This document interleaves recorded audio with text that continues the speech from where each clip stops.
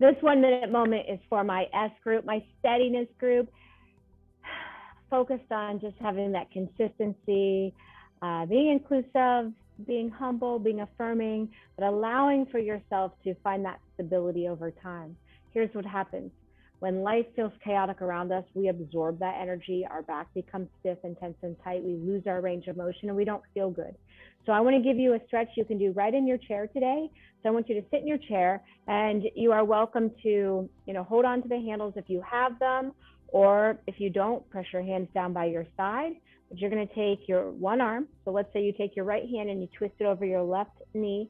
You look over your left shoulder so your heart is twisting, but your knees and legs are standing forward or staying forward. And you hold that. Now we want to have this gentle twist in the back that feels like you're wringing out a dish rag in the back. And hold for five breaths.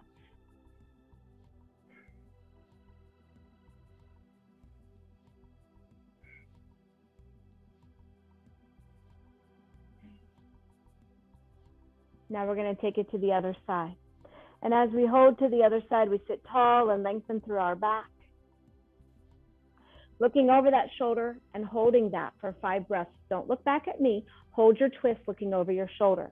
Right now, you're releasing four of the eight muscles that hold onto that back and feel overly, overly, you know, tense, especially in moments of chaos or a sense of overwhelmingness or out of alignment or order of what you like.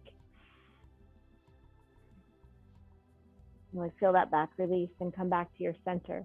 That's your special pose for you to use anytime you're feeling a little tense or tight to release that back and inspire energy in your body.